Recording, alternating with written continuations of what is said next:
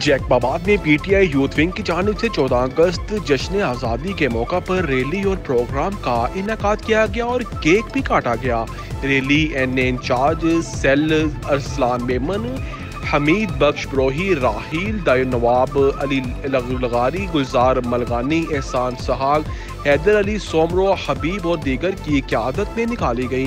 दिल्ली में कारकुनान और शहरियों ने कसीर तादाद में शिरकत की। रैली के शुरा के हाथों में बैनर्स थे, जिन पर नारे दर्ज थे। रैली सबक स्पीकर इलाही बख्श सोमरो के बंगले से निकाली गई। रैली शहर के मुख्तलिफ़ रास्तों से होती हुई शहीद अल्लाह बख्श सोमरो पार्क जा पहुँची। रैली में शरीक शुरा ने कश्मीर बनेगा, पाकिस्तान और पाक फौज जिंदाबाद के फलक शिकाफ नारे लगाए।